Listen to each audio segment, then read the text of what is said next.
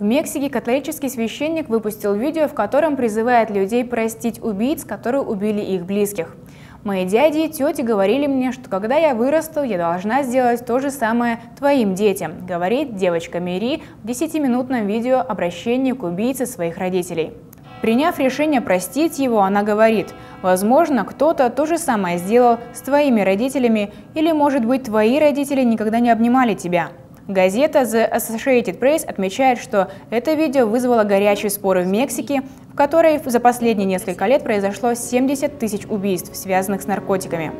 Отец Амар Сателла, который является автором этого видео, рассказал, что его группа уже планирует выпуск следующих 12 короткометражных фильмов, которые будут выложены в интернете и социальных сетях и будут касаться важных социальных проблем, которые волнуют Мексику.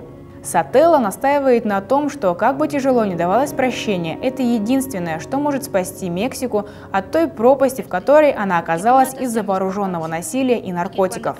Мы можем вернуть человеку человеческий облик, обращаясь с ним как с человеком. Видео вызвало много споров. С момента публикования его в субботу на сайте YouTube фильм посмотрело уже около 70 тысяч человек, и он вызвал много противоположных мнений и споров.